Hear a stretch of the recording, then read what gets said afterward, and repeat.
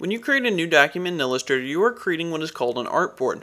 After creating this initial document, many people do not know how to modify the artboard again. Luckily, this is very easy to do. So let's create a new artboard that is 8 inches by 8 inches and click OK. Now in order to modify this artboard now that it has been created, we're going to go over the toolbar and look for the artboard tool. Now unlike Photoshop, document options are held in a tool rather than in a menu at the top of the screen. So once you have the tool selected, your screen will change to show you your artboards. From here, you can free transform the artboard or use some more exact numbers and measurements up at the top of the screen. Now from the screen you can also hold Alt and drag an artboard in order to duplicate it. You can just drag out a new artboard or you can select any artboards and delete them if you no longer want them. So this has been a 60 second tutorial by River City Graphix. Be sure to subscribe, rate, and comment for more.